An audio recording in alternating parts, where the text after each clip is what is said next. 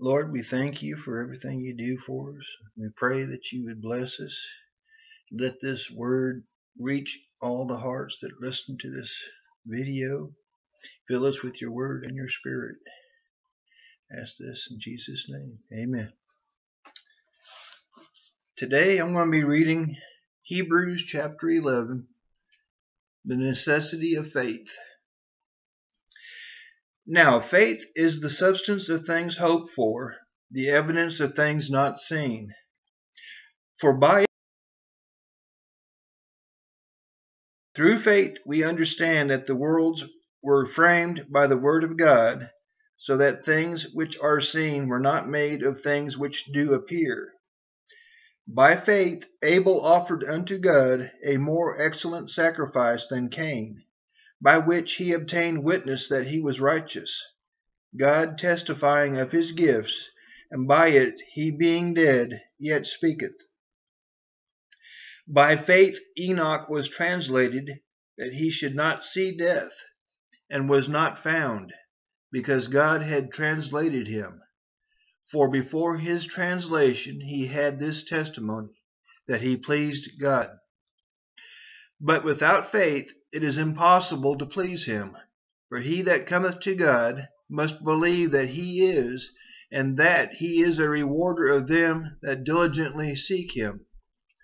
By faith Noah, being warned of God of things not seen as yet, moved with fear, prepared an ark to the saving of his house, by the which he condemned the world, and became heir of the righteousness which is by faith.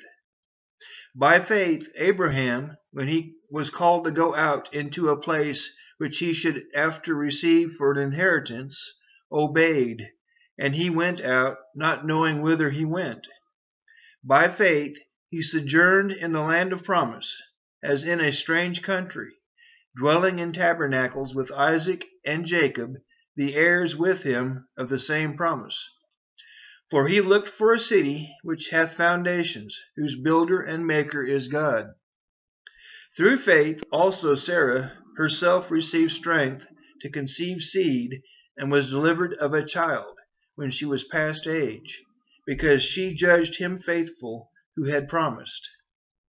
Therefore sprang there even of one, and him as good as dead, so many as the stars of the sky in multitude and as the sand which is by the seashore innumerable. These all died in faith, not having received the promises, but having seen them afar off, and were persuaded of them, and embraced them, and confessed that they were strangers and pilgrims on the earth.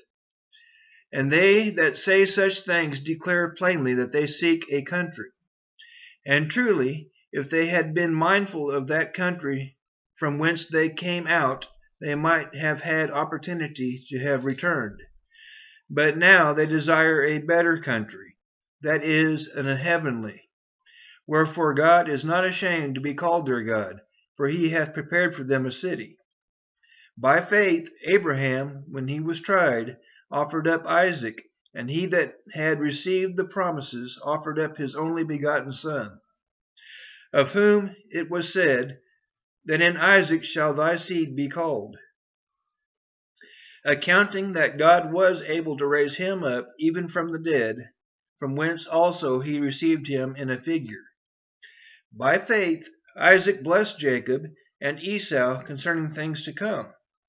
By faith Jacob, when he was a dying, blessed both the sons of Joseph, and worshipped leaning upon the top of his staff. By faith Joseph, when he died, made mention of the departing of the children of Israel, and gave commandment concerning his bones. By faith, Moses, when he was born, was hid three months of his parents, because they saw he was a proper child, and they were not afraid of the king's commandment.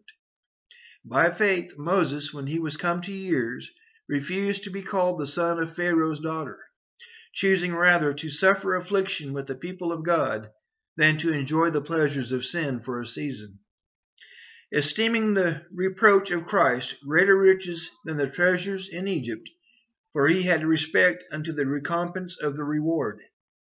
By faith he forsook Egypt, not fearing the wrath of the king, for he endured as seeing him who is invisible. Through faith he kept the Passover and the sprinkling of blood, lest he that destroyed the firstborn should touch them. By faith they passed through the Red Sea as by dry land, which the Egyptians essaying to do were drowned. By faith the walls of Jericho fell down after they were compassed about seven days. By faith the harlot Rahab perished not with them that believed not, when she had received the spies with peace. And what shall I more say? For the time would fail me to tell of Gideon and of Barak and of Samson and of Jephthah, of David also and Samuel and of the prophets, who through faith subdued kingdoms, wrought righteousness, obtained promises, stopped the mouths of lions, quenched the violence of fire, escaped the edge of the sword, out of weakness were made strong, waxed valiant in fight, turned to flight the armies of the aliens. Women received their dead raised to life again, and others were tortured, not accepting deliverance, that they might obtain a better resurrection. And others had trial of cruel mockings and scourgings, yea, moreover, of bonds and imprisonment. They were stoned, they were sawn asunder, were tempted, were slain with the sword. They wandered about in sheepskins and goatskins, being destitute, afflicted, tormented, of whom the world was not worthy. They wandered in deserts and in mountains, and in dens and in caves of the earth. And these all, having obtained a good report through faith, received not the promise.